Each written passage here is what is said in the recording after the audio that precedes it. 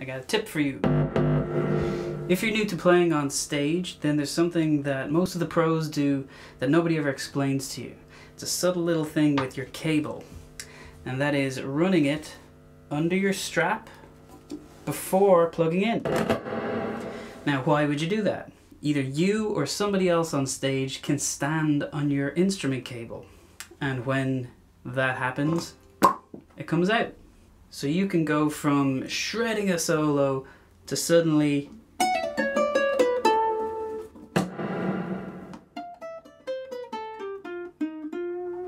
And how would I know this?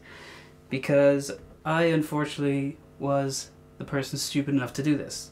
So I was my first big show, with a band, and we had all my friends and family there, and we got to the part where it was my big face melting solo, my only one in the whole set.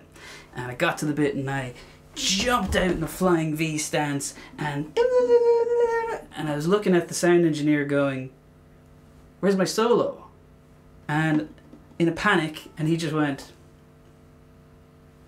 And I looked down, and still shredding, could see my cable on the ground.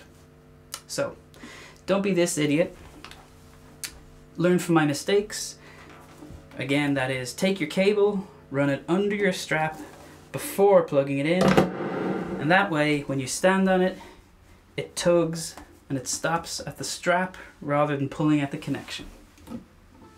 Live and learn.